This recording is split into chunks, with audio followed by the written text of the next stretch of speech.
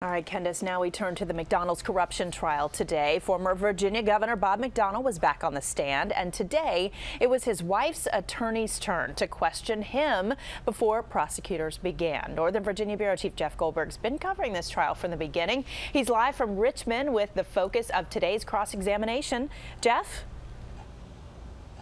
Well, Allison, that cross-examination still going on right now. A lot of questions about financial records. Throughout the day, the lead prosecutor has been trying to discredit the claim by the defense attorneys that the McDonnell's marriage was broken and that they could not have possibly conspired to commit these crimes that they've been accused of. Throughout the day, though, we heard a lot of this from Governor McDonald. I don't know, I don't recall, I don't remember. However, when he was asked early on by the lead prosecutor about cross-examination, the governor saying, I've been preparing for this ever since the day you indicted me.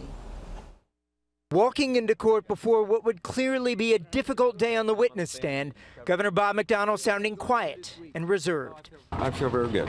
How'd you sleep last night? I slept very well. During cross-examination, U.S. Attorney Michael Dry expressing strong skepticism over McDonnell's repeated claims that he was not aware of the many financial ties between his wife Maureen and Jonnie Williams. The governor says he was angry about a $50,000 loan his wife received from Williams in 2011, but didn't call the businessman about it for 30 to 45 days after finding out. It's my wife's loan, Mr. Dry, said the governor. On the New York City shopping trip in 2011, McDonnell says he didn't find out Williams paid for it all until 2013 despite the fact he and Maureen stayed in the same hotel room that night, shopping bags on the floor. It didn't occur to you maybe Mr. Williams didn't pick up that tab? Is that what you're testifying to? asked Dry. That's exactly what I'm testifying to, responded the governor.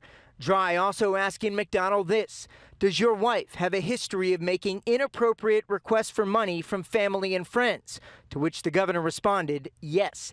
The prosecution also dubious of the governor's claims that both his family and real estate company were not in financial trouble, despite emails and bank statements to the contrary. The prosecution is suggesting through the way it's going about things is uh, are, are wrong, are basically fabrications that have been made up and convenient part of the defenses, but don't really have an underlying reality to it. And as Allison mentioned prior to the cross-examination, the governor taking questions from Maureen McDonnell's lead attorney.